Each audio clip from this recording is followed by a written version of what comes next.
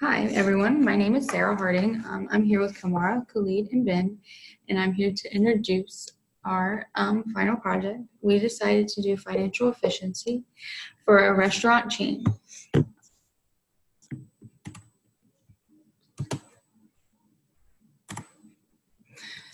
Our um, their problem was that um, their accounting and financial was not keeping their their employee information current, and the payroll check processing was very slow.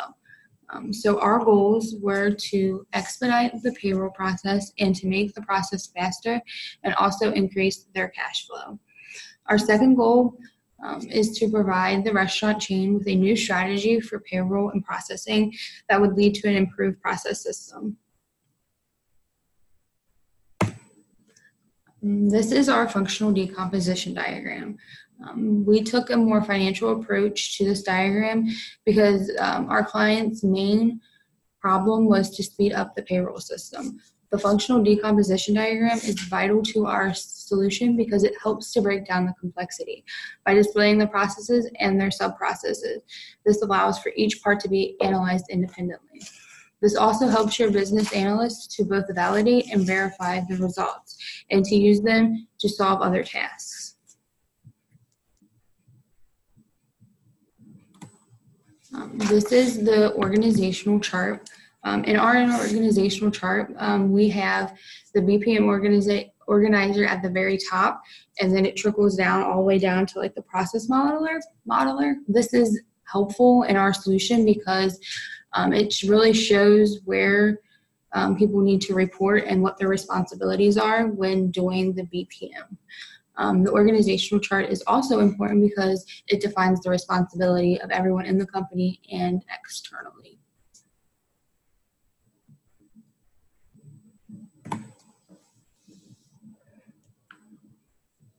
Hello, my name is Ben Locker, and I'll be talking about the functional relationship diagram. A functional relationship diagram is an essential visual tool used to show the constraints that a company will take in order to achieve that goal with greater throughput. It provides focus and clarity on how companies should go forth in resolving a problem. It's a roadmap for success.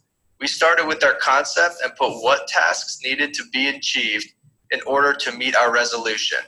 Instead of creating new tasks, we simply moved our task over from the functional decomposition diagram and assessed them properly.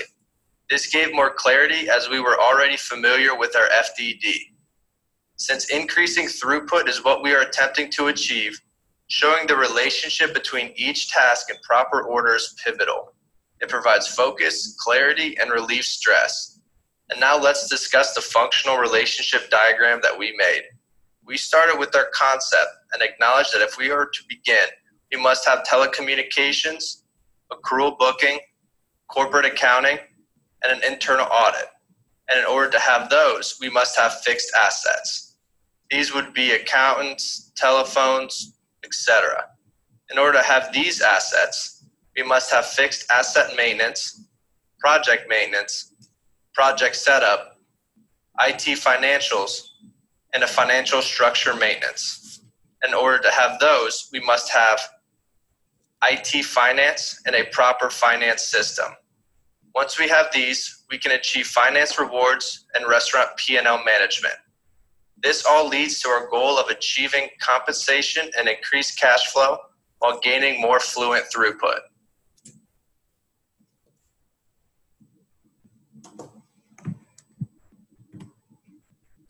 Next, we have our process flow. Our, in our process flow, we wanted to provide a way to track what events must take place in the process, how it has to be completed, and by who. This provides a rationale to our process. The purpose of this model is to be able to track the process and know exactly what has to happen in order for it to be completed. One of our biggest problems with the original system was it was too slow and not up to date. With this new model, we will be able to improve the time it takes to process each payroll cycle by having a clear process of what has to happen and clear questions that have to be answered to know what the next step will be. This will ensure we do not continue going in a loop like in our old system and delaying the pay for the employees.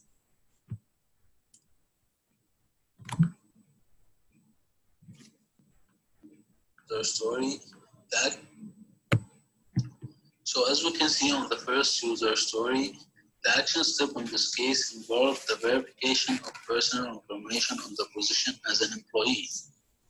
In the conversation section the information entered was verified to ensure that the employee provided the correct information.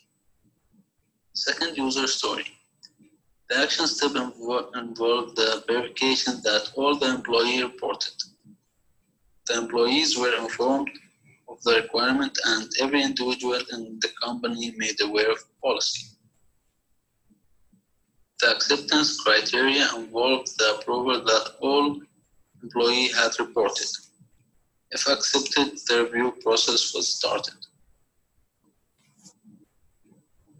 On the third user story, the statement of value was examined in the position of the employee. During the process, the value of the session was examined to ensure the time paid off. This ensured that the employee was happy with his job. And final user story, the statement of value was the payment processor since the holder of the position was required to accept the data submitted. The payment processor was required to ensure that all the data submitted was correct. If the data was approved as correct, the payment was processed and produced. So as we can see on the first user story, the action step in this case involved the verification of personal information on the position as an employee. In the conversation section, the information entered was verified to ensure that the employee provided the correct information. Second user story. The action step involved the verification that all the employee reported. The employees were informed of the requirement and every individual in the company made aware of the policy. The acceptance criteria involved the approval that all employee had reported. If accepted, the review process was started.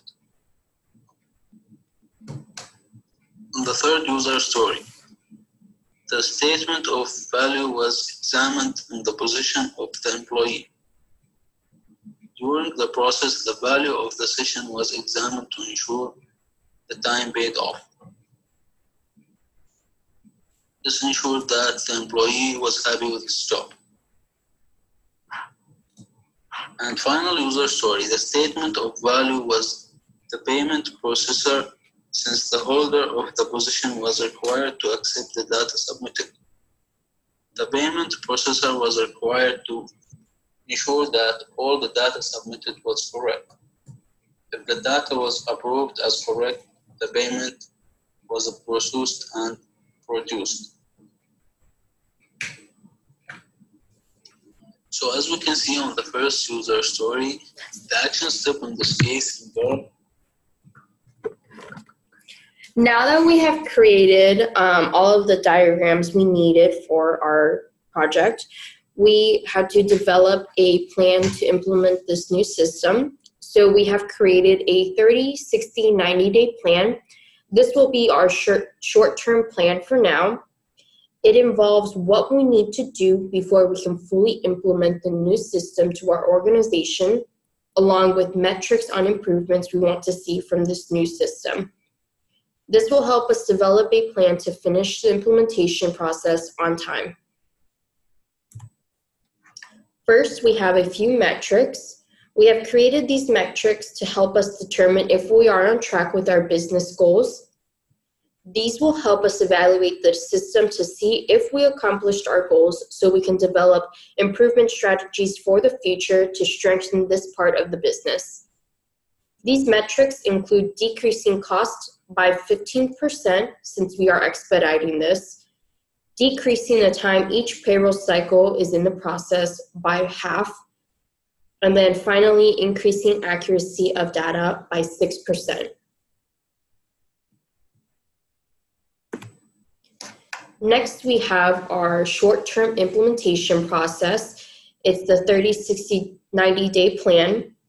In the first 30 days, we will begin our research for the new payroll system. This includes evaluating our current processing system and meeting with current employees to discover how the system can be improved and what part of the process is least efficient for the company.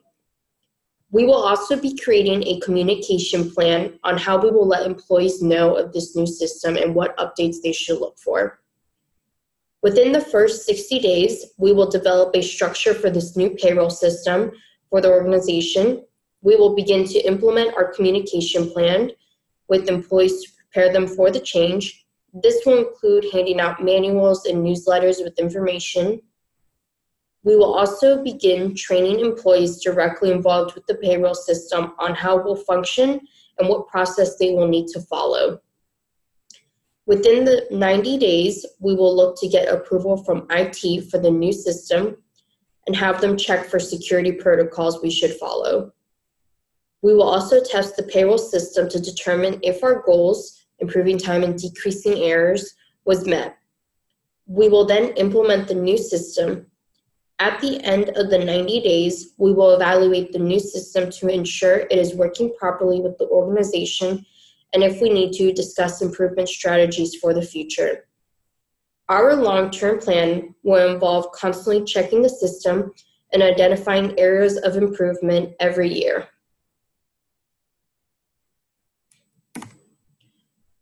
In conclusion, we evaluated the current payroll process in order to develop goals and a plan to improve the business process to increase efficiency. We created a process model to decrease errors and time spent processing one cycle of payment to save the company money and make the process easier for the employees. We created a clear strategy to improve and implement this new system as a result, our company will be running smoothly with less errors and more efficiently with our newest system that is more user friendly. Thank you for listening to our presentation. If you have any questions, feel free to contact us.